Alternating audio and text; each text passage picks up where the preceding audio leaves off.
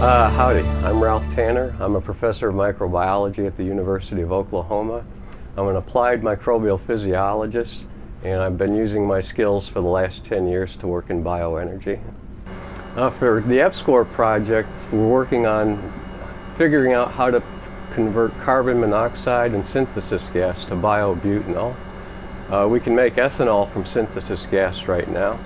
Uh, butanol, a little trickier, but if we can make butanol from synthesis gas, it's a product that's pipeline ready, uh, automobile engine ready, uh, without any worrying about flex fuel or anything. Actually has a, a higher energy density than gasoline.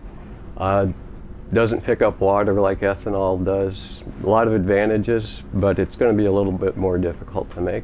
Uh, the conversion of uh, synthesis gas to our alcohol products uh, is by fermentation under anoxic condition, air-free conditions, uh, using bacteria that are called acetogens.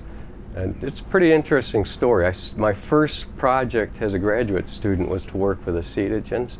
These are organisms that convert C1 compounds like carbon dioxide or carbon monoxide to C2 or higher uh, products.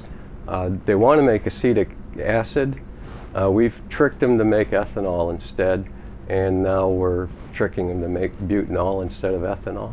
Another side benefit is we discover new microbiology in these projects.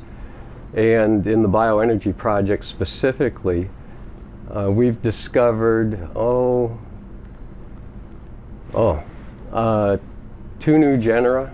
Uh, that's like discovering a whole new kind of whale, if you will. And of course, uh, all of our microbial catalysts for the project are new species. The advantage of making this from carbon monoxide or synthesis gas is anything you can burn, we can convert into an alcohol. Uh, so we don't need sugars, we don't need starches, we don't need to do a lot of pre-treatment to biomass. Uh, we just do a partially burn, partial burn of anything like be waste paper, old tires, uh, wood, uh, leftover uh, straw from uh, rice harvest, etc. And that's our substrate.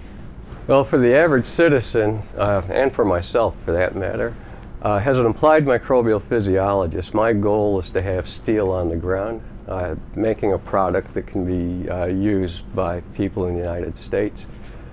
Um, if we are successful with the biobutanol project, we'll be producing something from biomass or waste materials uh, that can go directly into a pipeline, that can go directly into an automobile engine, at a price lower uh, than current gasoline prices and without the need for importing oil.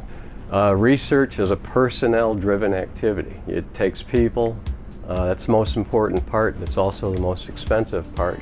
And EPSCoR is providing a stable funding to uh, focus on producing this next generation biofuel butanol.